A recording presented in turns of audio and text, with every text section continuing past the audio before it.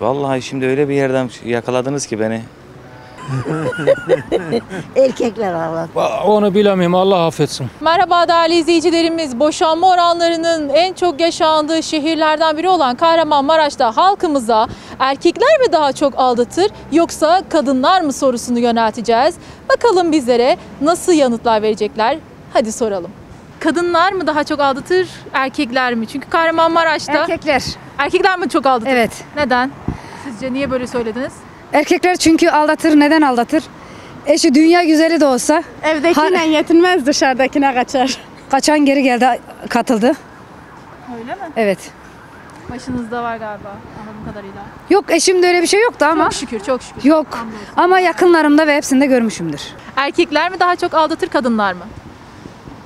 Vallahi ona tam olarak cevap veremeyeceğim çünkü ama bayanlar diyelim. Bilemiyorum kadınlar herhalde. Kadınlar iyice şey oldular, bozuldular. Evet. Neden Kadınlar böyle bozuldu. düşünüyorsunuz? Sizi böyle düşündüren nedir? Çevremdeki edindiğim bilgiler, şeyler kızım. Evet. Ne diyeyim ki? Bir özel konuya gireceğim ama girmeyeyim. Çekiyor mu? Tamam, çok sağ Çekti olun. mi? Evet. Erkekler ağlatır. Erkekler mi aldatır? Neden? E işte. Ya işte şey güvenmediğimiz için. Eşiniz mi? Evet. Katılıyor musunuz eşinize? Tabii Atılacağız. Kaç yıllık evlisiniz? Var yeni evlendik. yeni. Aa, hayırlı olsun. 3 yıllık.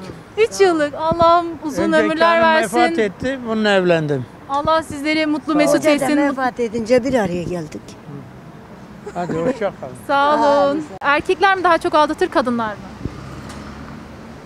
Kadınlar. Neden öyle dediniz? Yem benim işim acele. Erkekler mi daha çok aldatır, kadınlar mı? Vallahi şimdi öyle bir yerden yakaladınız ki beni.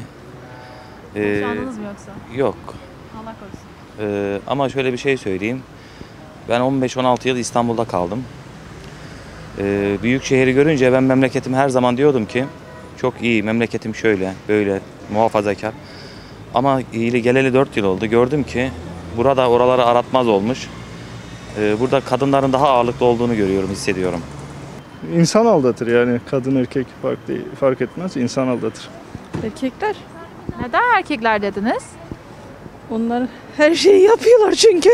Çevremde olmadığı için bilmiyorum şu anda.